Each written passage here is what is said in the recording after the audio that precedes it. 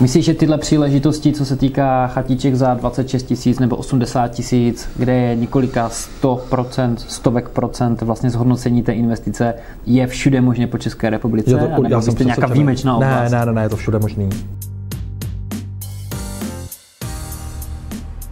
Vítej u druhého dílu rozhovoru s Martinem Fardášem. První díl byl odvysílány minulý čtvrtek. Eh, dnešní díl bude o tom, jak se podařilo Martinovi a můžeš tak eh, dopadnout i ty. Můžeš najít nemovitost za 80 tisíc, třeba nějakou chatku v okolí někde v horách zapadlou, koupit ji na aukci a prodat třeba za 400 tisíc a zhodnotit tak vlastně svoje peníze o stovky, stovky procent. Já už dále nebudu zdržovat to intro, mrkni na podcast minulý týden s Martinem.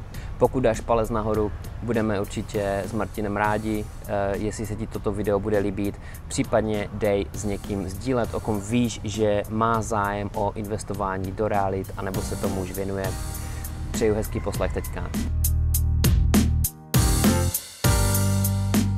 Takže Martine, ty jsi začal vlastně pracovat pro uh, realitku, kde tě tvůj uh, kamarád hnal k šíleným výsledkům a dělal si třeba, nevím, 12, 14, 16 hodin denně, mm-hmm. ale potom se to muselo někdy uklidnit, prostě nějaká rodina, jo, nedá se takhle pracovat pořád, takže vlastně jakým způsobem si začal pracovat potom, jaké příležitosti si hledal potom, jakože si pracoval více chytřeji a už ne tak, jak blázen, prostě, že by si šlapal ten rotopéd od rána mm, do večera. Mm, přesně tak. Jako když jsem se osamostatnil, tak vlastně jsem si řekl, jo, mám nějakou rodinu, to je taky nějaká pro mě velmi důležitá hodnota, takže musím i tam dát ten čas, mám dceru a podobně. Mm. Takže jsem věděl, nemůžu dělat 18 hodin denně, to nejde prostě. Ne. Takže jsem jako přemýšlel, jak a dělat. na začátku si dělal 18 hodin denně? No byly dny, kdy jsem fakt jako jel jako furt. Jasně. Jo, to prostě okay. 4 hodiny spánek a pak zase od rána do večera, 4 hodiny spánek od rána do večera. Mm-hmm. Jo. Ale teď už ne, teď už normálně funguju, prac... neříkám, neříkám, že pracuji málo, nebo že se flákám, určitě ne.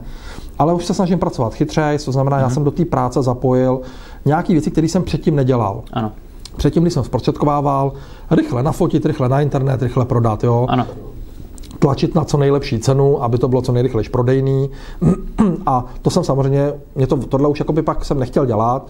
Já jsem opravdu chtěl pro ty klienty jim to prodat za co nejvíc, i když to bude trvat o dva měsíce díl. Mm-hmm. Jo, už mi to pak nevadilo. Takže jak jsem se osamostatnil, tak jsem tyhle věci změnil, že pro mě bylo důležité ne to prodat co nejrychleji, ale prodat co nejdráž těm lidem. Jo, protože... Takže vyplatilo se tady tenhle, tuhle změnu udělat. To tak. znamená, že vyhledávání té nemovitosti zde stojí pořád zhruba stejný čas, ano. akurát eh, ty vlastně více tlačíš na tu prodejní cenu, ať je vyšší, ano, ať jsou ano. vyšší marže ano. a zaplatí se ti to, i když ta nemovitost déle sedí vlastně na tom Přesně trhu, tak. když se prodá. Když mám prodávajícího, který řekne, já bych to chtěl prodat do roka, tak předtím na začátku jsem já furt chtěl, protože že jo, rychle prodat, rychle prodat, uh-huh. tak jo, nechtěl jsem tu cenu moc šponovat, protože jsem věděl, že to mi prodlouží ten prodej.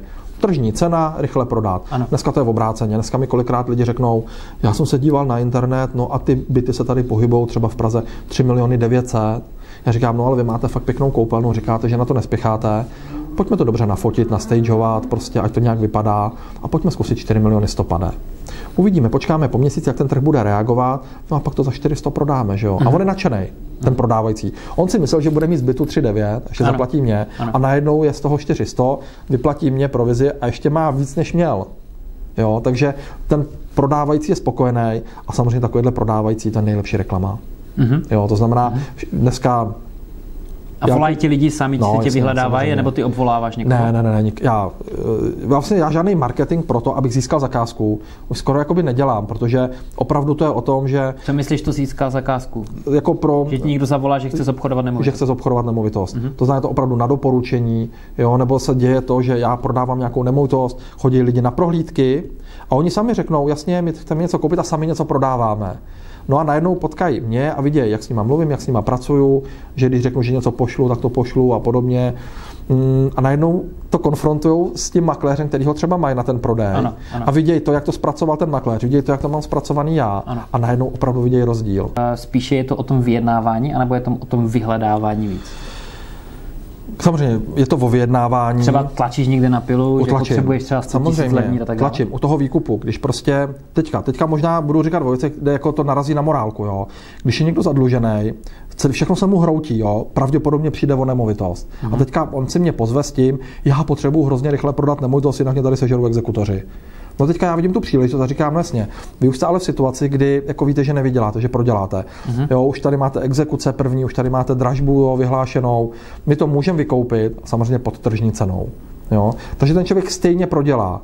A tak samozřejmě tam se tlačí na pilu. No prostě ano. jako jsem obchodník, musím nakoupit co nejlevnější a co nejdráž prodat. To je princip obchodu. Mm-hmm. Levně koupím, mm-hmm. draho prodám. Mm-hmm. A samozřejmě u toho jednání tlačím na pilu koupím, a draho prodám. Tak to tlačím, tlačím na pilu. No. Prostě někdy jako to narazí na nějaký strop, někdy to ještě srazíme prostě jo, o 50 tisíc, jo, mm-hmm. nějakou cenu. Jo, rozumím. Kupci taky tlačí na cenu, kdy to kupci dělají taky, snaží se vyjednávat. Mm-hmm.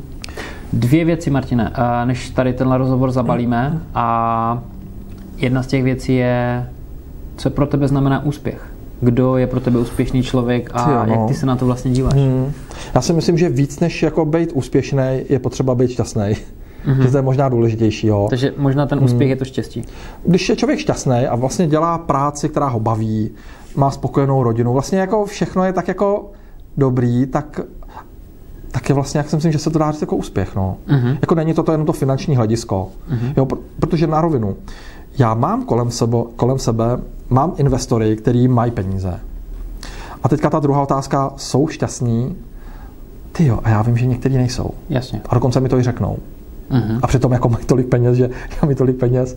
A proč a... myslíš, že třeba tady tyhle nejsou konkrétně? Protože dělají něco, co nechtějí? Peníze, nebo... peníze obecně ti nepřinesou to štěstí. Samozřejmě. Přinesou. Když nemáš na jídlo, to já jsem moc dobře znal, že byla prázdná lednice. Tak máš tak, rohlík, tak 10 eh, tisíc, něco dá, 10 tisíc, ano. to ti udělá šťastný. Ale je to jo. do nějaké hranice. A Ale je to do nějaké hranice. Pokud jo, jako, jako obecně je jídlo, můžu do restaurace, tak pak jako víc už ti nepřinese větší štěstí. Mm-hmm. Jo.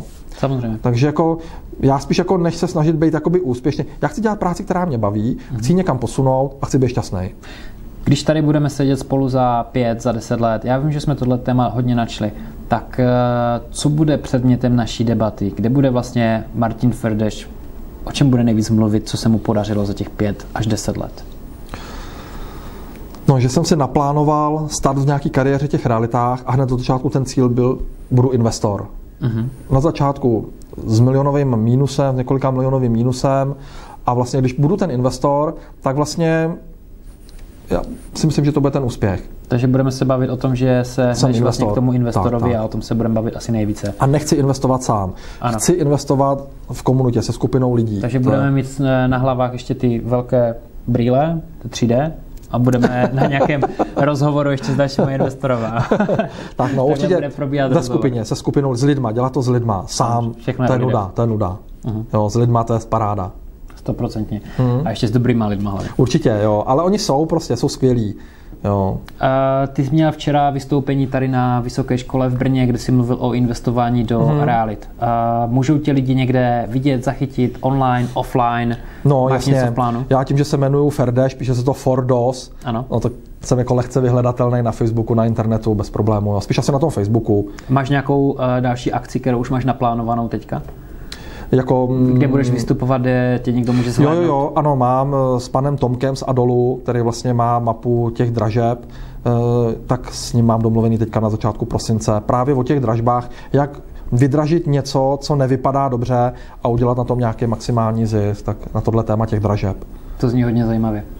Realitní makléř, investor Martin Ferdeš. Děkujeme za sledování, děkujeme za poslech. Pokud se ti podcast nebo video na YouTube hodně líbilo, budu rád, eh, když tam dáš sdílet nebo dáš palec nahoru. Budeme z toho úplně nadšení s Martinem. Děkujeme, ahoj. Ahoj.